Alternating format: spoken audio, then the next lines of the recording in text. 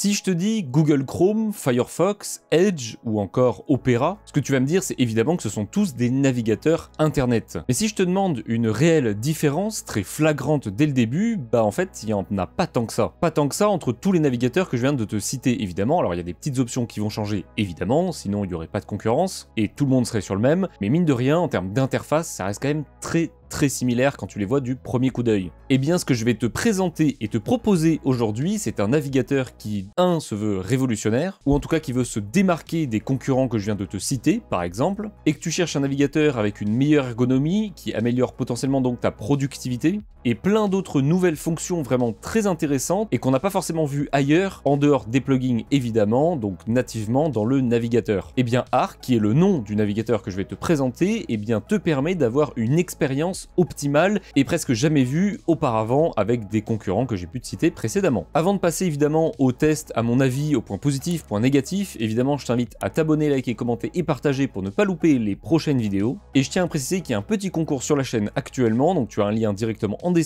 et en commentaire épinglé qui te permettra de gagner potentiellement 10 clés Boosteroid, ou en tout cas bien 10 gagnants différents pour des clés Boosteroid pour essayer le service Boosteroid. Voilà, ça n'a aucun rapport avec Arc, mais voilà, je tenais juste à le partager. Et du coup, on va faire étape par étape pour découvrir ce navigateur. On va évidemment du coup commencer par l'installation, où est-ce qu'on le trouve, comment on le télécharge, et il y a même une petite commande Winget pour le télécharger, et ça c'est plutôt pas mal. Donc évidemment, dans un premier temps, il faut te rendre sur le site de Arc pour télécharger Arc, donc moi je vais me baser sur mon navigateur Arc vu que j'ai que sur mon PC. Donc tu ouvres ton navigateur, tu écris Arc tout simplement, tu peux même plus particulièrement préciser browser, parce que sinon tu vas avoir d'autres choses qui n'ont aucun rapport, comme ça tu le trouves dès le début. Ensuite du coup tu cliques juste ici, et tu auras directement la page pour télécharger Arc, que ça soit sur Mac ou sur Windows.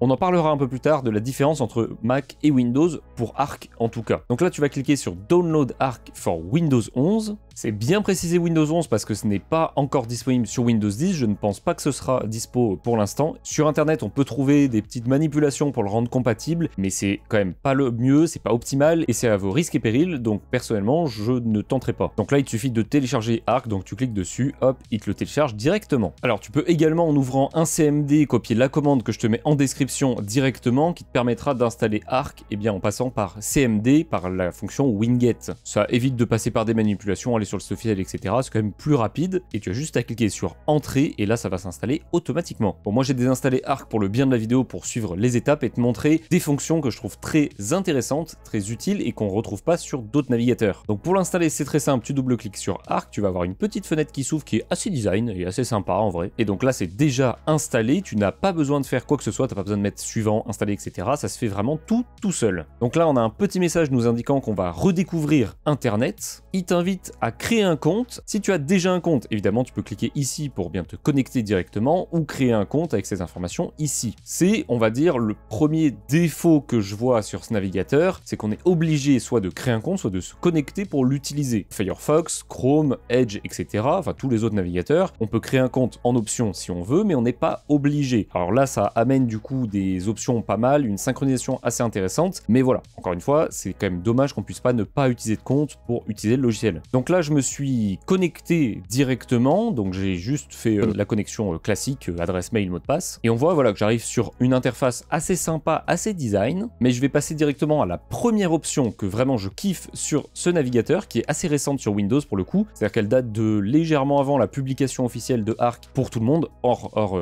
hors bêta, ça va être dans les paramètres, donc dans Settings et dans Sidebar Sync. Donc là, je vais l'activer, je vais copier la clé que je vais coller ailleurs dans un bloc-notes, etc., où je vais garder le mot de passe. Vous, évidemment, elle est floutée. Et une fois que j'ai fait Down et que je quitte ce petit menu, on voit directement qu'il m'a remis tous mes onglets avec toutes mes pages déjà ouvertes, mes espaces même déjà ouverts. Donc là, on voit mon espace YouTube, mon espace euh, partenariat avec mes différents partenariats, mon espace 01net pour quand je bosse euh, pour 01net et mon espace perso avec bah, notamment mes drivers, etc. Plein de, plein de petites choses que j'utilise à titre personnel. Et le cinquième, c'est l'espace qu'on avait au début. Donc là, je peux faire Edit, Delete. Et là, j'ai que mes espaces que j'avais bien à la base. Donc là, ce qui est déjà très cool, c'est que ça m'a remis mes onglets directement là où je les avais mis, comme je les avais mis, ce qu'on va pas forcément retrouver sur tous les navigateurs. L'autre option sympa justement avec cette synchronisation, c'est que sur mon PC portable, si j'ouvre un nouvel onglet dans mon espace YouTube par exemple, je vais ouvrir euh, bah, une vidéo YouTube, tiens pourquoi pas, et eh bien quand je vais retourner sur mon ordi principal, mon PC fixe, que je vais réouvrir Arc, il va me réouvrir la page que j'ai ouverte précédemment sur mon PC portable. Les deux sont vraiment synchronisés en permanence, m'ouvre les pages que j'ouvre et me ferme les pages que je ferme. Et ça je trouve ça vraiment très pratique,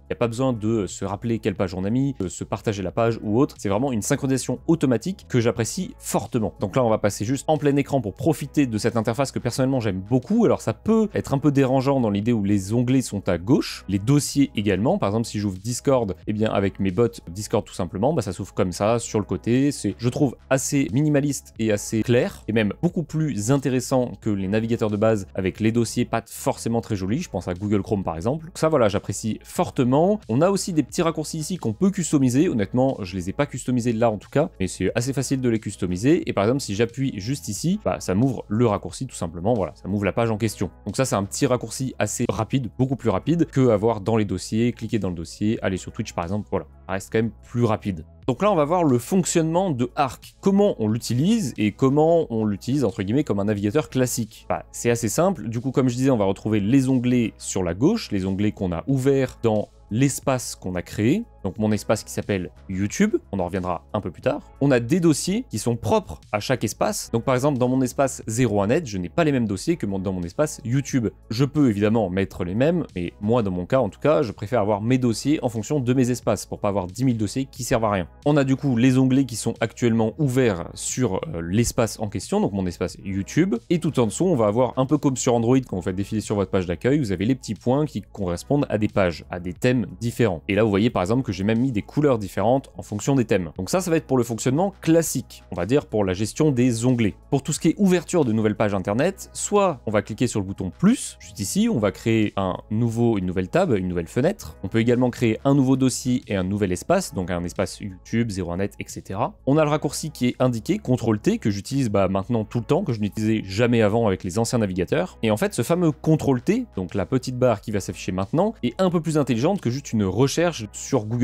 C'est-à-dire que grosso modo, bah voilà, je peux écrire Arc, il va chercher Arc sur internet et euh, je vais avoir par exemple la page de Arc pour le télécharger. Mais ce qui est réellement intéressant, c'est que si par exemple je tape 01net, eh bien la première option, ça va être d'aller dans l'espace 01net, donc dans mon autre espace avec toutes mes pages 01net. Ça va être de taper 01net sur internet. Ça va être d'ouvrir le dossier 01net. Ça va être d'accéder à une page où je vais souvent, donc 01net.com, le site de 01net ou les réglages par rapport à 01net. Donc là, je peux faire Alt 3. Alors je pense que c'est censé m'ouvrir les paramètres de l'espace en question. Ça ne marche pas, je ne sais pas si c'est un bug ou autre. C'est une version qui vient de sortir stable 1.0 quelque chose, et c'est pas encore une version qui n'a pas de problème et pas de bug, et pas de choses à améliorer. Donc voilà, ce CTRL-T est quand même assez utile, et en vrai, je m'en sers vraiment tout le temps de ce raccourci plus précisément, et de cette barre qui est assez intelligente entre guillemets, mais qui n'est pas autant que ce qu'elle pourrait. Et ça encore, on y reviendra un peu plus tard. Ensuite, comme fonction qu'on voit visuellement sur cette page, on va voir par exemple si je vais sur UserDiag, on va avoir en haut eh bien l'URL qui est très petit. Donc si je clique dessus, voilà, je vois l'URL précis que je peux modifier comme tout navigateur internet. Je vois également le petit bouton avec un lien pour copier le lien directement. Il m'indique aussi le raccourci pour, copier le lien, donc CTRL SHIFT C. Tous les navigateurs internet fonctionnent avec des raccourcis, mais qu'on connaît pas forcément, qui sont pas explicitement donnés. CTRL T par exemple, je le connaissais même pas ce, raccourci sur navigateur. Je dis pas que ça existe pas sur les autres navigateurs, je dis juste que c'est moins euh, poussé et moins bien présenté que sur Arc. Ensuite, on a également bon, le bouton pour rafraîchir la page et on a le, bouton pour aller donc en avant dans la page. Par exemple, si je clique, on s'en fout, juste ici, bah, je peux faire retour ou avancer. Bon, ça c'est classique. Autre option qu'on va trouver en haut qui n'est pas classique pour le coup, ça va être la split view. Qu'est-ce que la split view? Eh bien, il suffit de cliquer dessus, de choisir si on veut ajouter une page à droite ou à gauche. Donc moi là, par exemple, je vais mettre à droite, on s'en fout. Je vais chercher une page que je veux afficher. Donc par exemple, euh, j'en sais rien, je suis sur UserDiag et je veux regarder euh, ma vidéo YouTube tiens, pourquoi pas Eh bien, en recherchant une page de façon euh, classique, eh bien, on a tout simplement une vue séparée, une vue en double de deux onglets différents, deux pages différentes. En version un peu mobile, en version portrait quoi. Ce qu'on va pouvoir faire, c'est encore en ajouter une, par exemple si tu en veux trois, bon c'est peut-être un peu abusé, mais voilà, ça peut être utile dans certains cas. Tu vas pouvoir également, bon, la fermer, euh, évidemment, en cliquant sur la petite croix. Quand je dis la fermer, je parlais pas de ta gueule, je parlais bien de la page internet, même si bon, c'est discutable. Un petit truc plutôt sympa, c'est un détail mais qui est plutôt utile en vrai, c'est le contour blanc sur la fenêtre qui est active. Là mon curseur il va bouger là-dessus. Si j'appuie sur le clavier, eh bien ça va bouger en fonction. Bon là ça marchait pas. J'appuie sur le clavier, ça va bouger sur cette fenêtre là. Et quand je passe sur l'autre fenêtre, c'est l'autre fenêtre qui a le contour blanc. Ce qui permet d'avoir un rappel visuel de la page active, la page sélectionnée actuellement. Une option plutôt pas mal justement quand on est sur YouTube et sur ma chaîne YouTube plus précisément, c'est qu'on peut s'abonner directement et liker l'ensemble de mes vidéos et mettre un petit commentaire et ça, ça fait plaisir et c'est uniquement disponible sur Arc. Évidemment que non, tu le fais dans tous les cas, peu importe ton navigateur, j'en ai rien à foutre. Pour rester un peu dans le côté euh, ergonomie, euh, que je trouve aussi intéressant, c'est que là par exemple, bon, on a deux pages et il n'y a pas forcément d'espace sur les deux pages. Par exemple, on voit Accuser Diag, c'est quand même assez compressé. Et eh bien la petite option disponible que j'utilise principalement dans mes vidéos quand j'utilisais ce navigateur dans mes vidéos, ça va être l'option tout en haut à gauche qui permet bah, tout simplement de masquer la barre de côté. Donc quand on passe la souris, elle se réactive, elle se réaffiche en tout cas, et quand on l'enlève, elle disparaît. Donc là, ça permet d'avoir un peu plus de place et d'avoir des pages un peu plus utilisables. Et la dernière fonction qui est assez euh, basique, que tu vas utiliser en fait le plus, donc ça, tout ce que je t'ai montré, c'est les options vraiment accessibles très rapidement et que tu vas très souvent utiliser, et eh bien là, c'est un système d'archivage. Alors qu'est-ce que le système d'archivage? C'est toutes les pages internet que j'ai fermées. Et eh bien dès que je ferme une page internet, par exemple, je ferme UserDiag, et eh bien elle va apparaître dans l'archivage, et là, je vais pouvoir soit la supprimer de l'archivage, donc des pages archivées, soit en cliquant dessus, elle va se réouvrir et se réouvrir dans le bon espace. Donc là, elle était ouverte dans l'espace YouTube, elle s'est réouverte dans l'espace YouTube. Donc ce système d'archivage est personnalisable et c'est ce qu'on va voir justement maintenant en faisant les paramètres de Arc. Donc en réglage, là on va pas regarder les réglages encore euh, généraux entre guillemets, on va regarder les réglages par espace. Donc on va pouvoir renommer l'espace. Pour l'instant, le logiciel est que en anglais, je précise. On va pouvoir renommer l'espace. On va pouvoir changer la couleur de l'espace. Donc là, par exemple, j'ai mis en rouge, je peux mettre en noir. J'ai mis de la transparence, mais si je mets plus de transparence, là on voit la couleur. Ça va jouer en fonction aussi du fond d'écran. Par exemple, là j'ai sélectionné noir, mais on voit que c'est pas noir de partout, tout simplement parce que ça noircit le fond d'écran qui est en fond. Donc voilà, ça permet d'avoir, par exemple, la YouTube, logiquement, je mettrais plutôt en rouge, vu que c'est YouTube. YouTube, c'est un logo rouge. Voilà, on a compris, c'est un petit côté visuel. Et donc là, après, je peux régler le degré de transparence par rapport au fond d'écran. Ce que je vais pouvoir faire, c'est faire des profils. Ça, on le verra dans les paramètres généraux juste après. du coup, je vais pouvoir assigner certains profils ou pas. Je vais pouvoir créer un nouveau dossier. Je vais pouvoir partager mon espace. Très intéressant, je peux partager mon espace à une autre personne pour qu'il ait bien tous les mêmes onglets que j'avais dans mon espace, sans les comptes, les mots de passe évidemment. Je vais pouvoir eh bien exporter mon espace YouTube vers un autre espace, partenariat, 01net, perso, etc. Et je vais pouvoir évidemment supprimer l'espace en question. Donc voilà, ça c'est les réglages que tu vas retrouver pour chaque espace que tu as créé. Pour les paramètres généraux, il va falloir aller sur le petit logo Arc, donc dans Settings. Là, tu vas pouvoir, eh bien d'abord, soit rechercher des mises à jour du logiciel, il le fait automatiquement et très bien, et tu auras un petit message en bas à gauche te disant redémarre Arc, il y a une nouvelle mise à jour. Tu vas pouvoir importer des données d'un autre navigateur qui est installé sur ton PC pour récupérer tes onglets, tes mots de passe, etc. Bon, créer ce qu'on peut déjà faire avec toutes les options que j'ai montrées avant, passer en mode incognito, donc euh, navigation euh, privée, gérer les espaces, gérer les pages avec les raccourcis qui sont indiqués juste à côté. On va pouvoir gérer les extensions, en ajouter ou les gérer, donc en fait les supprimer, les mettre à jour, etc. Des réglages plutôt euh, adaptés aux développeurs, entre guillemets, donc par exemple view source, voilà, ça va être pour, pour ce genre de choses, pas très intéressant pour le commun des mortels en vrai de vrai. La section help si tu as des problèmes, la section settings qu'on va faire juste après, la section print pour imprimer, close pour fermer le logiciel et si, euh, je vais pas le dire parce que je parle très mal anglais, pour se déconnecter. Sign out, c'est affreux. Donc là on va dans les settings de manière générale du navigateur. Donc là on voit les profils. Donc en fait qu'est-ce qu'un profil? Eh bien quand on clique dessus, donc on peut en créer plusieurs. Là je vais pas en créer plusieurs pour le bien de la vidéo, mais en gros ça reste toujours la même chose. En fonction du profil, on va pouvoir choisir un navigateur par défaut, un moteur de recherche par défaut, donc Google, Brave, Ecosia, Bing et le dernier je ne le connais pas. Donc ce qui signifie que par exemple, pour mon espace YouTube, je veux utiliser que Google en moteur de recherche, mais pour mon onglet euh, perso, je vais utiliser euh, Bing, par exemple. Donc ça aussi, c'est euh, assez pratique, ça évite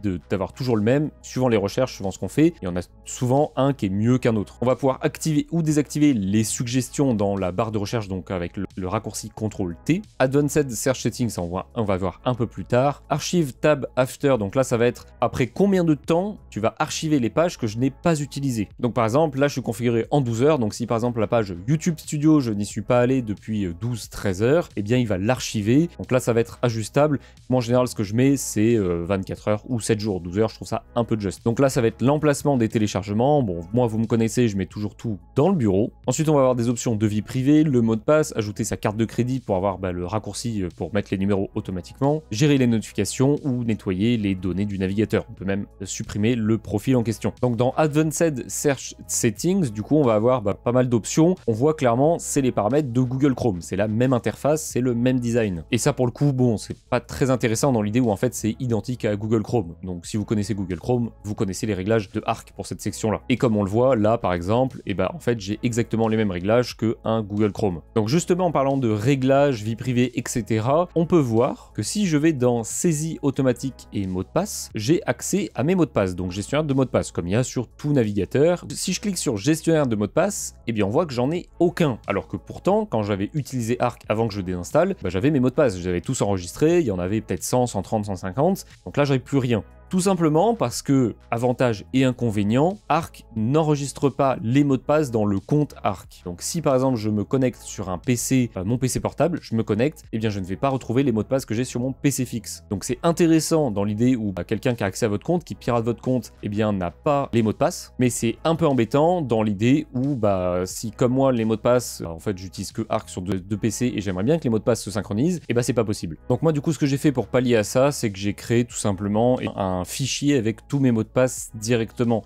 Donc ce qui me permet d'aller dans les paramètres, faire sélectionner un fichier, d'aller donc du coup sur mon bureau là où je l'ai mis et d'importer tous mes mots de passe. Donc là par exemple il m'importe voilà 241 mots de passe et il me supprime automatiquement le fichier après que je l'ai utilisé. Donc il le supprime du PC. Après du coup pour le reste des réglages, je t'invite à regarder directement ma vidéo YouTube sur les optimisations des réglages de Chrome, avec notamment en bonus les Chrome Flags, les options cachées de Chrome pour l'optimiser et améliorer ton expérience. Et je m'excuse, le plan est peut-être pas tout à fait pareil, j'ai eu une panne de batterie de mon appareil photo, donc voilà, ça a peut-être un peu bougé. Et du coup le dernier petit réglage du navigateur qui est plutôt du coup orienté design, ça va être donc dans les paramètres, juste en dessous dans Windows Backdrop, ça va être le choix entre Mika, qui est l'effet spécialement Windows 11, qui est apparu en tout cas avec Windows 11. Donc qu'est-ce que ça change dans l'effet bah, Je vais te montrer tout de suite. Donc je vais fermer le navigateur pour te montrer plus simplement. Je vais le réouvrir. Donc là tu vois qu'on voit clairement mon fond d'écran, qu'il est flou. Il y a un effet de, flou sur ce fond d'écran, mais on le voit clairement quand même. Et eh bien si je passe en mode Mika, on que là il est plus net du tout. Donc moi je préfère quand même l'effet acrylique que l'effet Mika pour le navigateur. Après bon voilà, c'est de la personnalisation et du custom, donc ça dépend de ce que tu préfères. Alors plusieurs fois dans cette vidéo, j'ai dit qu'on allait aborder quelque chose un peu plus tard. C'est tout simplement parce qu'on va aborder maintenant.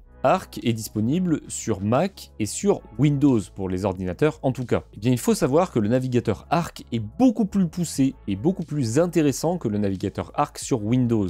On va avoir une plus grande gestion, une intelligence artificielle ou en tout cas des systèmes qui vont bien euh, maximiser la productivité. Tu le vois par exemple avec la bande-annonce que je te mets tout de suite de la vidéo de présentation entre guillemets du logiciel sur euh, Mac. Tu vas voir qu'il y a une option qui s'appelle euh, nettoyage, clear, qui va automatiquement regrouper tes onglets et te les renommer dans ton espace, va te renommer tes fichiers que tu télécharges. Il va faire en fait beaucoup plus de choses. Il y a une intelligence artificielle qui est euh, beaucoup plus intéressante. En fait, il y en a une, parce que là, dans Arc qu'on a actuellement, il n'y a pas vraiment d'intelligence artificielle. Donc voilà, Arc est quand même très complet, très intéressant sur Windows, mais il peut l'être encore plus avec Arc Max, les options que je t'ai montré juste avec la bande-annonce donc précédemment. Donc voilà, il y a quand même quelques petits euh, réglages qui sont encore à voir et à modifier, mais honnêtement, je trouve ça déjà pas mal. Ah oui, et il y a aussi une fonction que je trouve très cool, et là par contre je suis vraiment extrêmement déçu qu'elle ne soit pas sur Windows, c'est Arc Boost. Arc Boost, qu'est-ce que c'est? Eh bien c'est tout simplement une option qui permet de personnaliser Internet. La bande-annonce que je te mets actuellement, un peu comme tout à l'heure, ça te présente en fait cette fonction de Arc Boost, et comme tu peux le voir, tu vas pouvoir changer la couleur des pages Internet, tu vas pouvoir enlever des informations d'une page Internet, par exemple sur Twitter, tu vas pouvoir enlever une section en particulier, par exemple tu es sur YouTube, tu vas pouvoir enlever la section euh, Short, donc il n'y aura plus la fonction Short sur YouTube. C'est vraiment une personnalisation accrue que je trouve très intéressante. C'est que du bonus, c'est que de la personnalisation, mais franchement, c'est vraiment sympa. et ça permet aux utilisateurs qui veulent le faire bah, de pouvoir le faire tout simplement. Donc voilà, on a vraiment fait le tour de Arc. Cette vidéo était assez longue, mais parce que je voulais vraiment tout aborder avec Arc, faire un tour complet de présentation, des points négatifs, points positifs, des choses qui vont potentiellement arriver par la suite avec Arc Boost, Arc Max, etc. Et honnêtement, pour moi en tout cas, je trouve que c'est le meilleur navigateur que j'ai pu utiliser jusqu'à présent. Évidemment, n'hésite pas à me donner ton avis directement de cette présentation de Arc et de toi ce que tu en penses. Je t'invite évidemment à tester Arc pour te faire ton propre avis, partager ton retour d'expérience, ça va toujours intéressant et en vrai je prendrai le temps de lire parce que c'est vraiment très intéressant. Et j'ai essayé de rester très objectif dans cette vidéo pour pas euh, donner que des points positifs, dire que Arc c'est le meilleur navigateur, etc. Je voulais vraiment rester objectif pour que à la fin de cette vidéo tu te dises tiens, je vais l'essayer et je vais voir ce que ça donne, sans te dire je vais l'essayer parce que c'est le meilleur navigateur, on m'a dit qu'il était incroyable, etc. Ça change d'un utilisateur à l'autre, donc teste-le, fais-moi un retour si tu en as envie et profite et teste et ton choix parmi tous les navigateurs du marché. J'en ai cité quelques-uns en début de vidéo, mais il y en a encore plus. Et évidemment, si cette vidéo t'a plu, je t'invite à t'abonner, liker, commenter et partager. Et moi, je te dis du coup à très bientôt pour une prochaine vidéo. Ciao, ciao